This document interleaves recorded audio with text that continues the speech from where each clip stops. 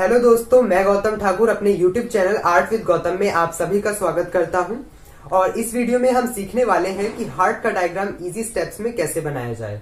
अगर आपने मेरे यूट्यूब चैनल को अभी तक सब्सक्राइब नहीं किया है तो ज़रूर सब्सक्राइब करें और सब्सक्राइब करते वक्त एक बात का ध्यान रखें कि बेल आइकन को ज़रूर क्लिक करें, जिससे कि आपके पास मेरे न्यू वीडियोस की नोटिफिकेशन टाइम टू टाइम आए।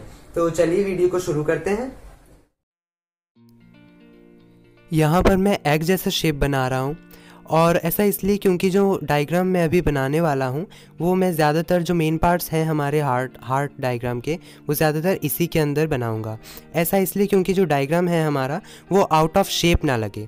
इसके लिए मैंने क्लच पेंसिल का यूज़ किया है क्योंकि क्लच पेंसिल क्या है कि बहुत शार्प चलती है और हमें डायग्राम में शार्प ही लाइंस की ज़रूरत पड़ती है।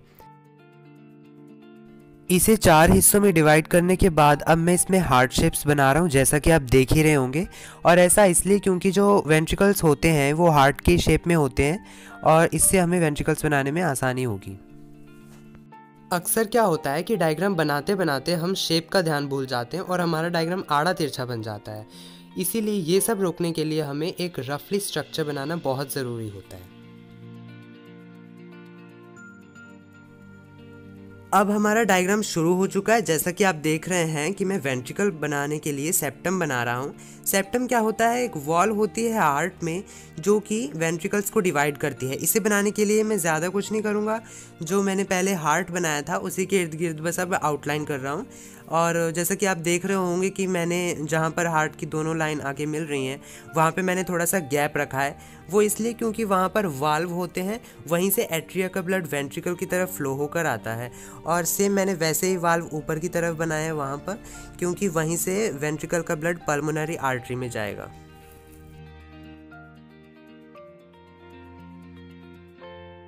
अब जब हमारा डायग्राम लगभग नीचे का एरिया कंप्लीट हो चुका है तो हम जो एक्स्ट्रा लाइंस हैं जो हमने पहले खींची थी डायग्राम को इजी करने के लिए उन्हें हम इरेज कर देंगे ताकि हमारा जो डायग्राम है वो क्लीन दिखे। जैसा कि हमने पहले ही बात की थी कि एट्रियम या एट्रिया से ब्लड आता है वेंट्रिकल की ओर और, वेंट्रिकल से पल्मनरी आर्टरी तो पल्मनरी आर्टरी बनाने के लिए हमें एक लाइन खींचनी है जो कि राइट की तरफ़ झुकी होगी और उसको दूसरी लाइन से अंडरलाइन करना है, जो कि नीचे से ही आ रही है। और उसी के पैरेलल हमें दूसरी लाइन बनानी है, दो लाइन बनानी है, जिन्हें हमें डिवाइड करना है। जैसा कि आप यहाँ पर देख सकते हैं, मैंने यहाँ पर डिवाइड की है ये लाइंस दूसरी आर्टरी में। ऊपर की तरफ़ भी हमें इन्हें डिवाइड करना होगा। और अब जो हम एक्स्ट्रा लाइंस हैं, उन्हें इरेज कर देंगे। लेफ़्ट एट्रियम से ब्लड होकर लेफ़्ट वेंट्रिकल में जाता है और उसके बाद वो एओर्टा में चला जाता है। तो एओर्टा बनाने के लिए हम लेफ़्ट साइड में थोड़ा सा तिरछी लाइन बनाएँगे, जिसे हम दूसरी लाइन से अंडरलाइन करेंगे और उसी के पैरेलल हम दो लाइन और बनाएँगे। मैंने इसे लेफ़्ट एट्रियम और लेफ़्ट वेंट्रिकल इसलिए कहा क्योंकि ये डायग्राम का लेफ़्ट साइड है तो इसमें कन्फ्यूज़न वाली कोई बात नहीं है। अब मैं जो एक्स्ट्रा लाइंस हैं, उन्हें इरेज कर रहा हूँ और इरेज करने के बाद मैं एट्रियम बनाना शुरू करूँगा, जैसा कि आप अभी देखेंगे। एट्रियम बनाने के लिए मैंने कोई डेफिनेट शेप नहीं बनाया पहले से, जैसा मैंने वेंट्रिकल्स में बनाया था, क्योंकि वेंट्रिकल्स का शेप थोड़ा सा डिफ़िकल्ट था बट एट्रिया का उतना नहीं है। तो हम एट्रिया को सिंपल वैसे बनाएँगे, जैसे हमने पल्मोनरी आर्ट्री और एओर्टा को बनाया था। तो ध्यान रखें जो हमने पहले सर्कल बनाया था और कुछ लाइंस खींची थी आ, अपने अंदाजे के लिए कि हमारा डायग्राम कितना बनेगा कहाँ बनेगा और आ, कुछ डायग्राम आड़ा तिरछा ना बने उन्हें उन लाइंस को आप थोड़ा लाइट बनाएँ जिससे कि आपको डायग्राम बनाते समय कन्फ्यूज़न ना हो और बाद में इरेज करने में प्रॉब्लम ना आए। अब हम दूसरा एट्रियम बना रहे हैं ठीक उसी तरह जैसे हमने पहला एट्रियम बनाया था, ये बहुत इजी है, आपको दिख ही रहा होगा कि ये मतलब मैं कितने सिंपल तरीके से इसे बना रहा हूँ। और ये और भी इजी हो जाता है, अगर हमें पूरा फ़ंक्शन हार्ट का पता हो हार्ट क्या फ़ंक्शन करता है, इसके काम क्या है तो हमें उसका डायग्राम बनाना और इजी हो जाता है। वैसे तो अगर हमें किसी चीज़ की जानकारी हो तो उसी, उस चीज़ के ऊपर काम करना ईजी हो जाता है। ये तो एक फैक्ट है कि अगर हमें किसी चीज़ की जानकारी है तो हमें उस चीज़ पर काम करने में मज़ा भी आएगा और उस चीज़ पर काम करना ईजी भी हो जाएगा। अब मैं पल्मोनरी आर्टरी को ही कंटिन्यू करते हुए आगे बढ़ा रहा हूँ। जैसा कि हमारी बुक में दिया है एन में डायग्राम उसी तरह।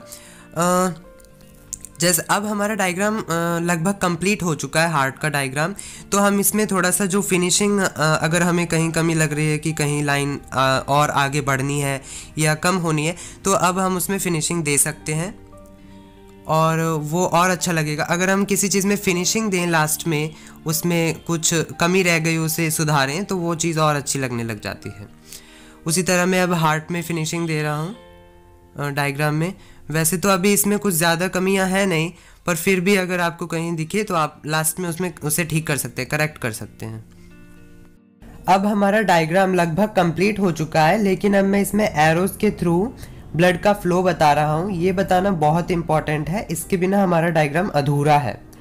इसी इसी से पता लगता है कि ब्लड का ब्लड का फ्लो किस तरफ़ है हार्ट में।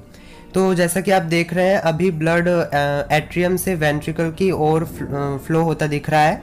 उसके बाद ये पल्मोनरी आर्टरी में जाएगा और उसी तरह हम पूरे हार्ट में इसे इसका फ्लो बताएँगे। ये बहुत इंपॉर्टेंट पॉइंट है हार्ट डायग्राम में।